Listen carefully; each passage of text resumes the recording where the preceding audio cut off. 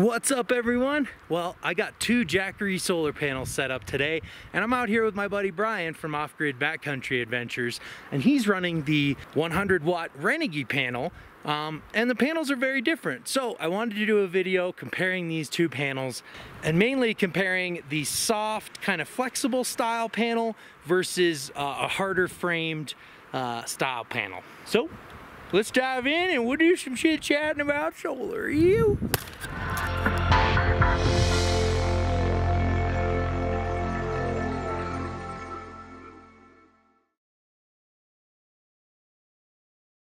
Got a nice carrying case here for the foldable solar panel, which I just picked up. Really like it. Yeah, totally different having Nice. the hard panel. Yeah, it's nice because it's super sturdy. I mean, I, I worked with the the um, Jackery foldable panel, but it's real lightweight and it's nice because it's easy to transport around. But this was nice yesterday in the wind. I mean, didn't yours blow away yesterday? Yeah, I had it on the roof of my truck and uh, it blew a good 20 feet away and thankfully it blew the right way and it didn't blow off the cliff. It seriously could have. that, Um, that would have been an expensive mistake. Those are like 300 They're like 300 bucks, yeah. And so it landed on a rock and it got a little bit scratched. Um, and that's the first time that's ever happened. I mean, the wind here is like what, 16 miles per hour? Yeah, 16 or 17 with, with, with pretty big gusts yesterday that were coming up over the rim. Oh my goodness. This side is sick.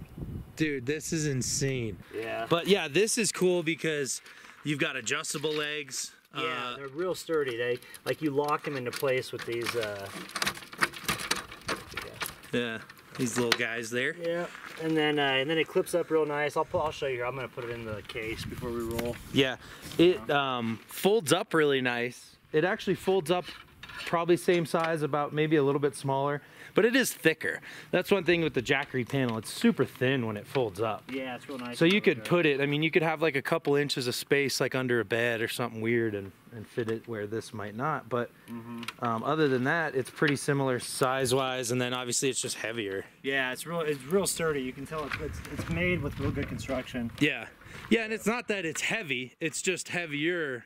Yeah. Obviously, when it's got this, you know, metal frame, and it's. Mm-hmm. But I, I do okay. I do like how it packs down in the bag, Mm-hmm. and then you fold the bag, you fold everything together, huh? Yeah, and see mine, I, I didn't I, I didn't have to get a charge controller with this one because the charge controller is already built in with the Maxoak. Yeah. So with that, you, you, I'm good to go. But like Craig got this same panel, Uh-huh. and he got a charge controller for it because he's it's going directly into that deep cycle battery that he has under the hood of his truck. Yeah. Which which that would be a cool video to do to do because that's a different style of Yeah. Maybe we'll even put it in this this stuff. video. Who knows? yeah. So Talking solar with all the nomads off right. grid. so talking power, mobile power. Yeah. So And then you have panels on your roof too, but right now your truck's in the shade. Yep. So yeah, if you, you have it out here in the sun, um, that was the whole motivation for getting this panel was that I was like, well, I want to park in Yeah. the shade.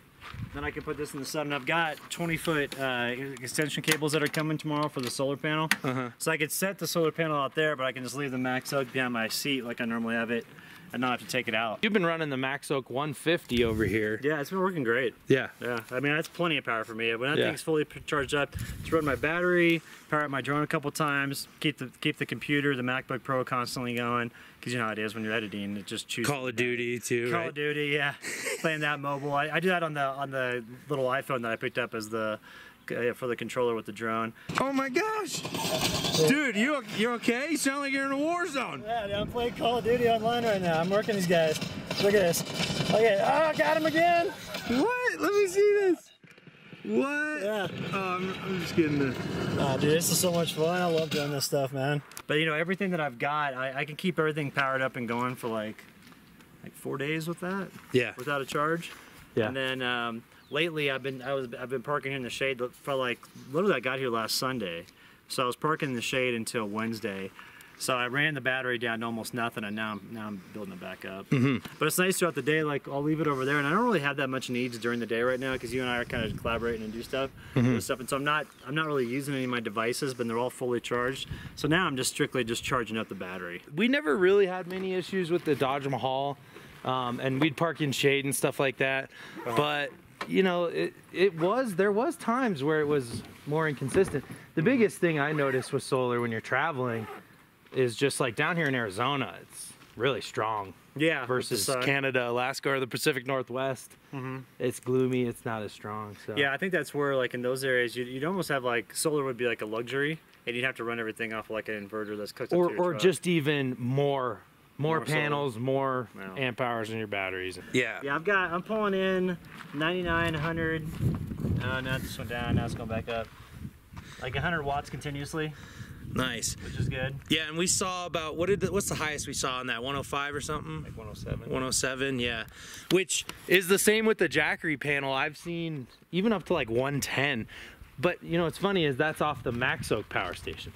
Oh yeah, yeah. For some reason they don't seem to bring in as much to the Jackery power stations. Jackery, the only one. I, don't, I only got up to like 65 or 70 in the Jackery.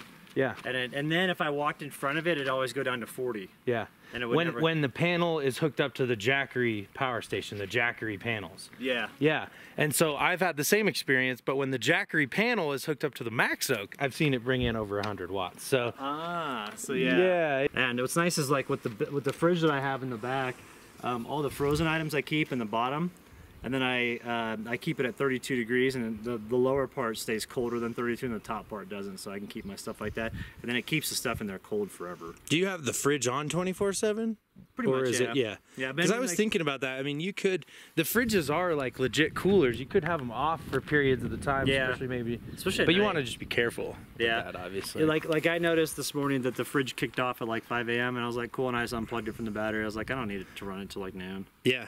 Because it's in the shade all day long, and then or you know all morning. Yeah. It's nice and cool in there. It's nothing. Yeah, Nothing's yeah, I love the Maxoak stuff. The 150 was the first one I had, Mm-hmm. and then I just did the video on the 500 and the the 2400.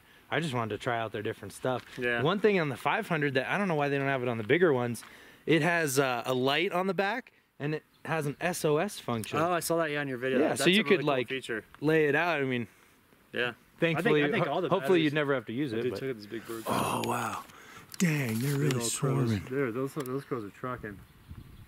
Oh look, we got like a lone plane flying overhead. You can see the, the trail.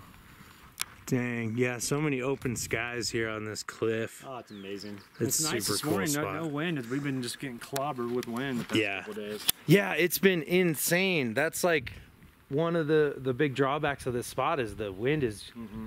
Just whipping, but there's absolutely none right now. So we figured we'd do some chit chatting. Yeah. well, well, it didn't sound like a tornado out here. yeah, right.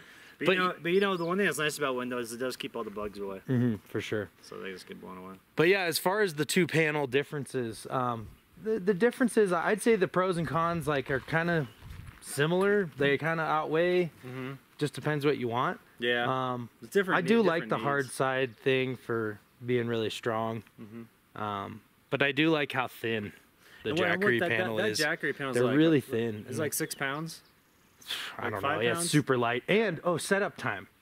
Uh, the since it doesn't have a case and stuff, that thing just sets up a little bit quicker. Not Yeah. that it's a big deal, but in the morning, like I don't leave them out overnight. So in the morning, I'll get up and set it up. Mm-hmm. And I actually use two Jackery 100s. I have the Jackery 1000 in the trailer for my computer and my phone and cameras and stuff, and then I have the Maxoak 2400 in the truck. You could charge. You could, you could, you could stay good for like ten days out here. Yeah, I've got a, a powerhouse of Yeah.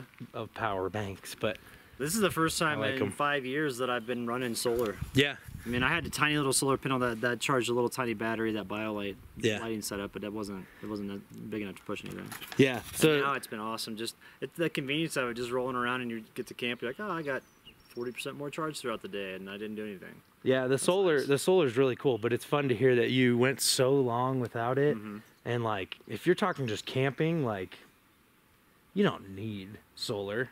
Um, But we're but we're talking, you know, we're charging up drones, all this stuff, and, and we're if you're living out here, you absolutely need all the power you can get. yeah, every time I'd roll into town to do coffee or Yeah. to grab coffee, I'd always charge everything up. And then Yeah. I had that inverter that I could run a little bit, but having solar, dude, that's the way to go. Yeah, it's just like, especially in these areas that are all sunny, it's just it's it's it's a passive way to get energy. Yeah. No, it's a it's a beautiful thing collecting energy from the sun. Um, well, what do you say? You want to go drive a Jeep Gladiator? now? Yeah, let's do it, dude. Yeah. So check out that video. I uh, hope this helped though. Just a little bit of blabbering from some nomads about solar. Um, but yeah, leave a comment. Let me know what you think, what your solar setup is. If you have any questions, hopefully we can get to those too. But uh, thank you for watching hit the thumbs up if you enjoyed. And the only question is, are you down to mob? Ow.